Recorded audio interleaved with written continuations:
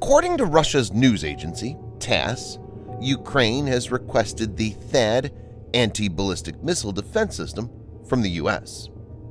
TASS quoted an undisclosed diplomatic source saying, Ukraine has turned to the United States with a request to deploy several battalions of THAAD mobile anti-ballistic missile defense launchers with radars near Kharkov on Ukrainian territory. It's unclear if the news is true and if Washington will approve such an undertaking. While THAAD is essentially a defensive weapon, it has capabilities that make it a strategic asset. In this video, Defense Updates analyzes why Russia is in a panic after Ukraine requested THAAD from the U.S. Let's get into the details. This video is sponsored by the free-to-play military vehicle combat game War Thunder. We talk a lot about military vehicles on this channel, but what about trying them out for yourself? In War Thunder, you can choose from more than 1,200 playable vehicles from the 1930s to the 1990s and go to battle on more than 80 theaters of war. You can fly aircraft, helicopters, drive tanks, and command ships of all types and sizes, which have been carefully recreated from their real-world counterparts. It's available as a free download on PC, PlayStation 4, and Xbox One with cross-platform support. So grab your friends and give it a try. All viewers of Defense Updates that register using the link in the description below will also get a free premium tank, aircraft, or ship and three days of premium account time as a bonus.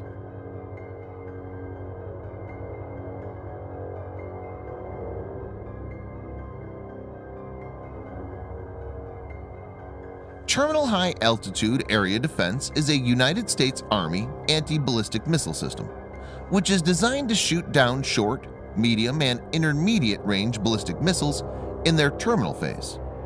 The THAAD system is being designed, built, and integrated by Lockheed Martin Space Systems, acting as a prime contractor. Key subcontractors include Raytheon, Boeing, Aerojet, Honeywell, and BAE Systems, to name a few. THAAD is strictly a ballistic missile defense system and is not designed for general air defense duties like defense against aircraft. It's considered to be one of the best when it comes to ballistic missile defense systems, having been designed from the ground up for this purpose. THAAD is engineered to defend against ballistic missiles in challenging scenarios, like even if the rival launches a barrage of missiles and simultaneous interception of multiple missiles is required. The system is quick to deploy and mobile, which makes it a very flexible weapon.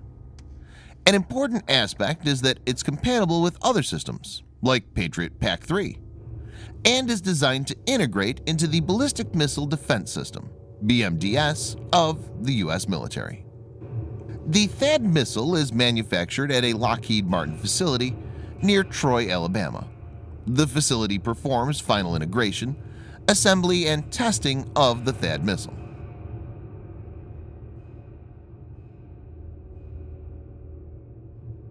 THAAD system consists mainly of three components radar, battle manager, and missile launch battery.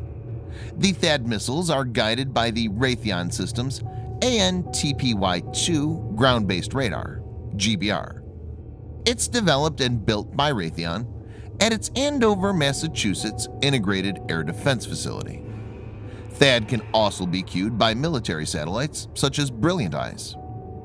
The AN/TPY-2 Surveillance Transportable Radar, also called the Forward-Based X-Band Transportable FBXT, is a long-range, very high-altitude, active electronically scanned array surveillance radar.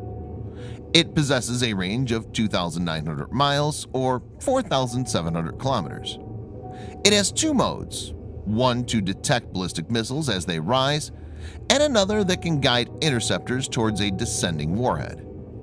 Since the radar uses X-band frequency and narrow beam widths, it's good at isolating smaller objects, such as a warhead, versus space debris.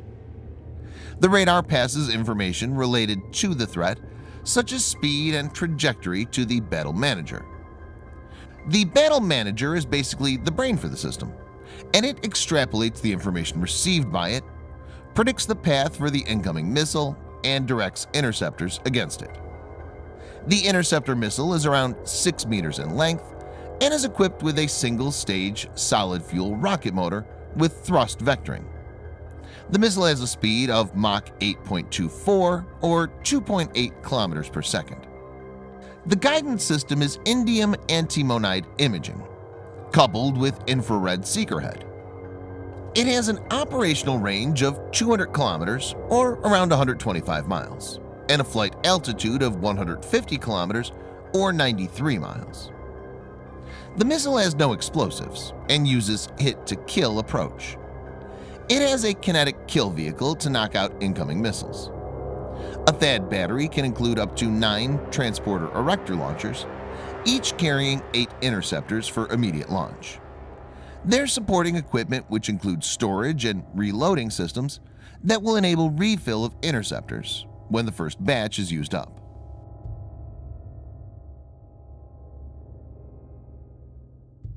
As quoted by TASS, a THAAD system deployed in Ukraine is capable of tracking the aerospace situation over a substantial part of Russian territory and will enable Kyiv and its NATO allies to look deep into the territory of Russia. So, just like Russian S-400 can scan skies well outside Russian land boundaries, THAAD can also do the same and to a greater range. With THAAD, NATO will be able to monitor a Russian aerial buildup and get a very comprehensive picture of its eastern flank. This is what makes Russia extremely uneasy. THAAD has recently brought down a ballistic missile. The takedown on the 17th of January is thought to be the first recorded successful operational use in the hands of the United Arab Emirates. The ballistic missile that was targeted was fired by Houthi militants at sensitive Emirati sites and facilities. Technically, the system can provide cover to Ukraine from certain Russian precision strike systems, like the Iskander-M surface-to-surface ballistic missile. This can prevent Russia from knocking out Ukraine's key military assets and prevent a swift takeover. So, THAAD can actually hinder a potential Russian plan to invade Ukraine. Thanks for watching. Subscribe for more videos like this. Hit the like button if you find the video interesting, and kindly provide your feedback in the comment section. This will help us improve.